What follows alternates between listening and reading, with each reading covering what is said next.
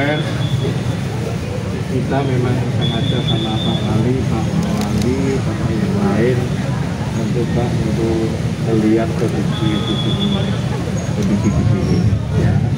Karena dengan kosongnya jualan di sini sudah pindah di teras satu maupun teras dua. Kami ingin bagaimana perlu kita tidak hanya membersihkan tapi mungkin kita lihat ya seperti tempat duduk mungkin perlu dibeli lagi mungkin selatan ini baik untuk jalan maupun yang untuk masak karena kena api itu mungkin rusak mungkin perlu dijelek lagi atau mungkin perlu diganti dan dengan harapan demikian kami ingin ini tetap berlanjut ya.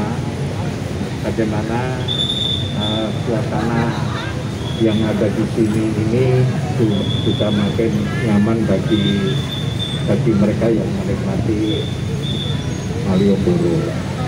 Nah kita telah melakukan koordinasi dengan Pak Wali, dengan kota, jadi dalam waktu tiga bulan ini ya kita juga akan menyelenggarakan pentas baik di teras satu maupun di Malioboro teras 2 yang kemungkinan bisa dua kali atau dua kali dalam waktu satu minggu. Kalau dua kali yaitu pada hari Selasa sama Sabtu.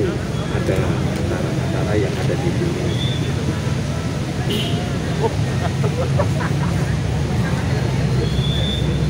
Di mana juga di samping secara rutin Selasa sama Sabtu itu mungkin juga ada program acara lain yang nanti itu akan disusun oleh Balai Tagar Budaya yang ada di disebut di Kota Madya Yogyakarta. Baik itu menyangkut mungkin galeri seni atau street art sepanjang Malioboro dan sebagainya. Nanti baik itu di teras satu maupun teras dua maupun sepanjang jalan ini nanti kota yang akan mengatur sendiri ya. Kita juga akan melangkah untuk toko-toko dan sebagainya.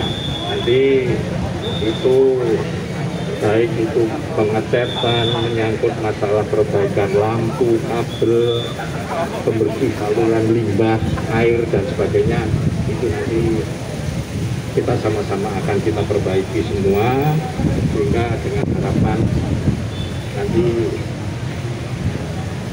mereka yang berada di Malioboro ini lebih nyaman gitu.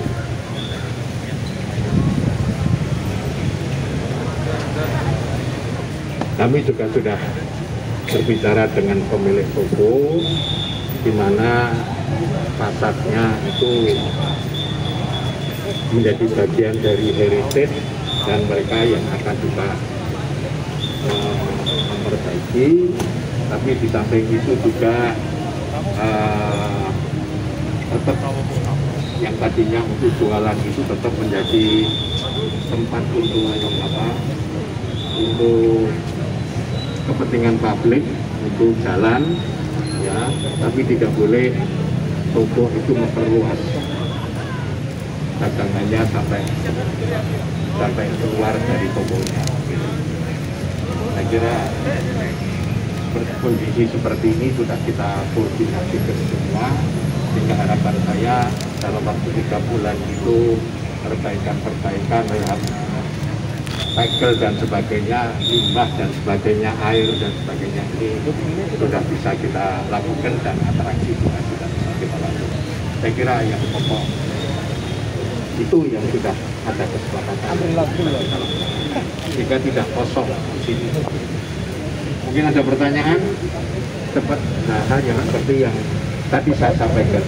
Nanti tahun berikutnya karena anggarannya tidak bisa masuk karena sudah terlambat nah, nanti baru kita plan untuk tahun berikutnya Jadi tidak boleh harus kita selesaikan semua. Yang penting apa yang kita lihat kurang bagus, kita perbaiki, kita renovasi. Terima kasih. Wassalamualaikum Cukup ya. warahmatullahi wabarakatuh. Terima kasih. Terima kasih.